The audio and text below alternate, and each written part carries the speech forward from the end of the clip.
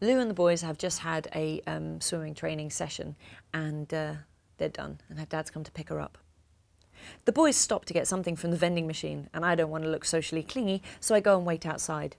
My phone dings, a message from Hannah. Did you know bananas were fattening? Get out of town! I live off bananas, sad face. Dad pulls up in Mum's car.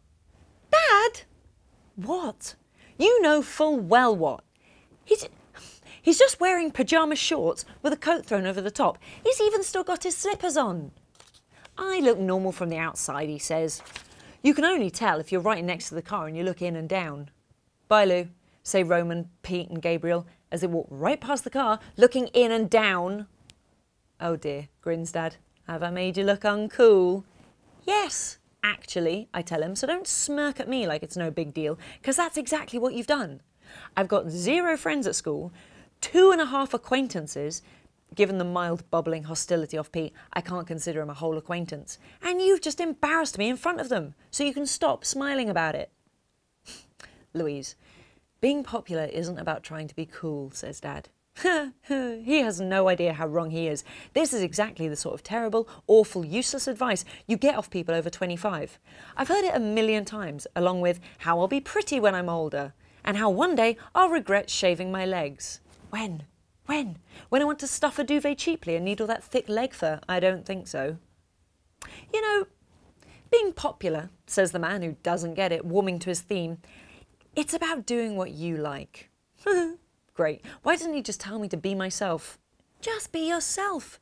Do what makes you happy, and then everyone will see how cool you are and want to be friends with you. Okay. Thank you so much, Dad. I really appreciate that you care, especially as you've got so much on your plate at the moment. But this is terrible advice. Being cool is not about being yourself. It is not. And you need to stop handing out that advice in case one day someone actually listens to you and you ruin their life.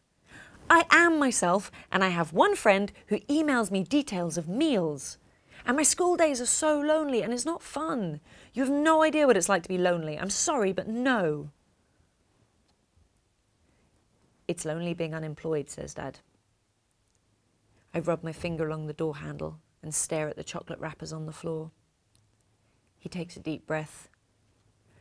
You wake up and you have nowhere to go, and everyone rushes off to school and work where people notice if they're not there and where people need them, while I sit at home and email people asking them to notice me or need me, and no one does.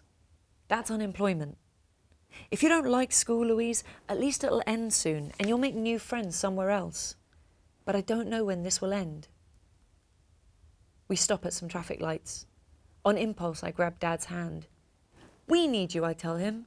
Me and Lav and Mum, we all need you and we like having you around. Look, you and Mum are divorced and she's still happy to live with you. Think how amazing that makes you. And I'm having to share a room with Lav and all her girl smells and glitter that gets everywhere and spiky boot things, and I'm still happier that you're here. Thanks, Lou, he says.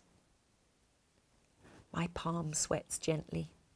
Shall we stop holding hands now, Dad? Yeah, I need to change gear.